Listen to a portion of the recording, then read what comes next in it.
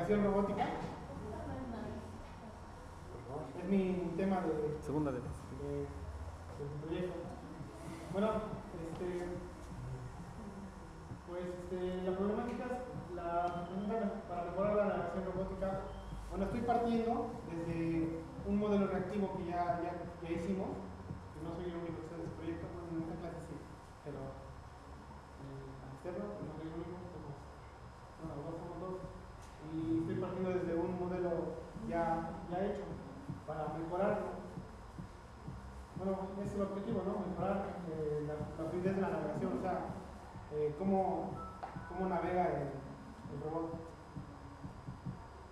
Bueno, miren, este es un, un modelo reactivo sencillo, que únicamente lo que hace el robot es que esquiva los obstáculos, solo eso.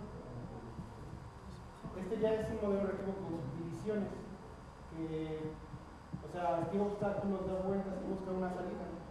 Ya es un poquito más elaborado. Para mejorar el- la fluidez del, robot, vamos a implementar un, modelo difuso tipo Mandani. Este es el, algoritmo. Bueno, es- son tres, tres, este, tres fases de, de este. La justificación, eh, el mecanismo diferente de difusa, que son las reglas, las difusas, y el que la salida. Bueno. Eh, bueno, primero vamos a la- una función triangular. Que ya llevan inteligencia, bueno, ya saben algo de esto. O sea, calcular con una función triangular, o de Gauss. En este caso vamos a usar la función triangular.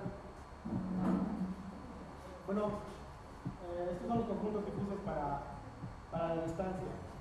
De, de 0 a 30 es- sería muy cerca, de, de 10 a 40 cerca, y no- normal de 35 a 65, lejos de 60 a 90 y muy lejos de 70 a 100. Estos son los- esto es la función triangular que nos arroja de, de distancia, son los grados, son los de a la distancia. Estos son los conjuntos difusos para la velocidad. Y de- que es, es como igual que de distancia, que es de, igual, pero parecido que es de 0 a 10, muy lento, lento de 3 a 23, medio, de 16 a 36, rápido de 29 a 49 y muy rápido de 42 a 50. Sin gráfica, con nuevas de preferencia. Bueno, estos, estos, estos grados de pertenencia y las, las, bueno, la- las reglas son las reglas difusas. Cuando es, por si, si, en este caso, si muy cerca, entonces el motor lo que va a hacer es que va, va a correr muy lento, cuando está muy cerca de unos de un obstáculo, es una pared o X cosa.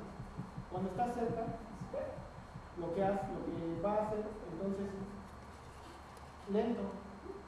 Cuando está a una distancia normal, o sea, media, entonces el motor va a correr mm, a la mitad de la velocidad.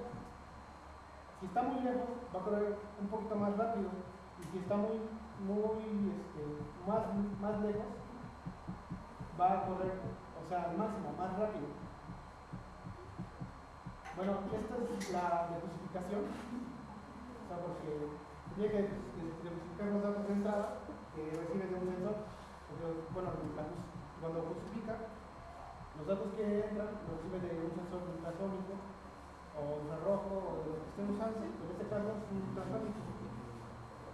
Entonces, lo cosifica, pasa por las reglas, este, las reglas este, difusas y saca una salida.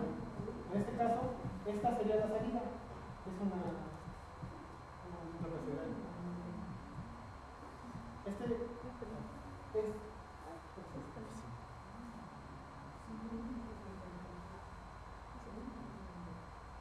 este ya sería no,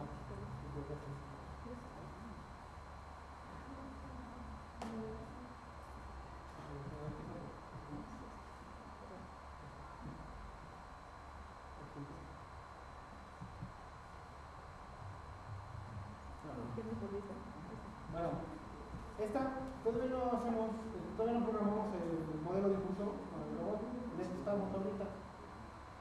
Pero hemos hecho ya hicimos la gráfica de cómo sería la, navegación, o sea, la fluidez de, de, del modelo de impulso. Este ya sería la salida del modelo de impulso, como se dan cuenta, si, recuerdan el anterior, del modelo reactivo, el modelo reactivo lo que hacía era esto, así, y así, y así. ¿sí? O sea, no era muy fluido su navegación. Entonces, esto ya es más, ya es mejor, o sea, ya no, porque cuando, cuando el, el robot trata de estimular algo, primero se para y da vueltas, y, en este caso, o sea, el objetivo es que ya no sea así muy este, lineal, sino que ya sea más, más exacto, que ya dé una vuelta pero continua, o sea, ya no que se pare y haga esto, ¿no? O sea, ya se trata de que se, se mejore la navegación.